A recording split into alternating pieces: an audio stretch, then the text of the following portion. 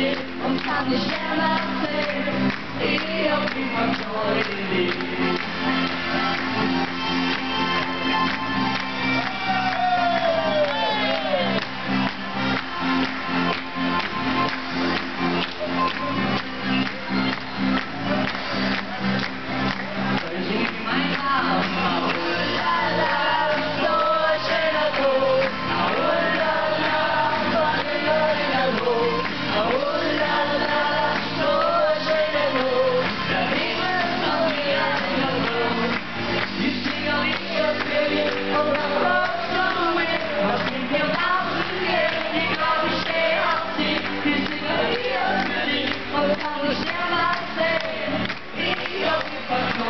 Thank